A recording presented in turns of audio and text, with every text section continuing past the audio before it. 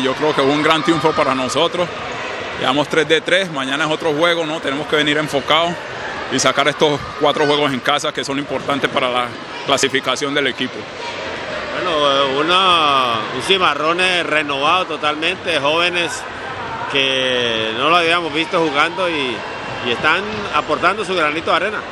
Sí, desde el inicio hicimos una gran convocatoria, tú lo sabes, el pueblo lo sabe, donde presentaron más de 70 jugadores del Chocó y vemos que hay jugadores de varias regiones. Yo creo que es realmente importante tener estos jóvenes, esta renovación, para que le den más minutos de juego y, y uno que un poquito ya al lado de, de este deporte que, que, nos ha dado todo. Definitivamente esa dupla Edgar, Salomón, Salomón Edgar, incansables todavía, ¿no?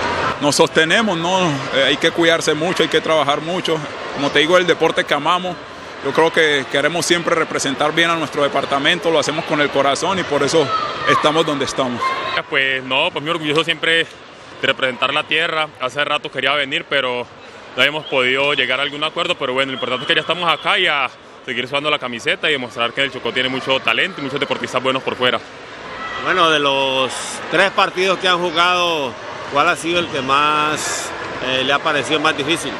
No, pues el segundo contra Cafeteros jugamos en Ismina, que ganamos por un punto porque teníamos la ventaja todo el partido, pero nos desconcentramos.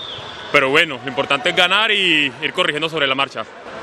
Bueno, ¿cómo ve el equipo para dar la batalla? No, tenemos un, un, buen equipo, jugadores jóvenes que tienen mucho talento. Ahí tienen que ir madurando y cogiendo experiencia juego tras juego. Y bueno, el profe Pilín está rotando bien el equipo para que ellos vayan adquiriendo experiencia. Belkin ya trasegado en el baloncesto con, con la Academia de Antioquia, ahora con Cimarrones, espera ganar el título también acá. Esa es la idea, esa es la idea. Uno siempre donde llega quiere ganar y salir campeón. Ojalá le podamos dar este título a toda la fanática que acompaña siempre a Cimarrones. Muchas gracias.